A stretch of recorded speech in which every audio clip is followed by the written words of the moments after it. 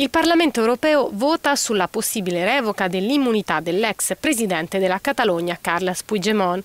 Il risultato verrà svelato martedì mattina e risponde ad una richiesta della giustizia spagnola che intende processarlo per il suo coinvolgimento nel referendum per l'indipendenza della regione. È probabile che l'Eurocamera approvi la decisione, ma il leader indipendentista ha già annunciato che continuerà a combattere. Combatteremo fino all'ultimo minuto al Parlamento europeo e ricorreremo alla Corte europea di giustizia se necessario. Arriveremo fino in fondo.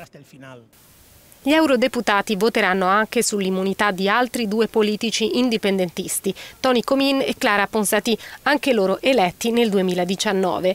Anche se dovessero perdere l'immunità, continueranno a far parte del Parlamento europeo, ma la decisione potrebbe aprire la strada alla loro estradizione in Spagna.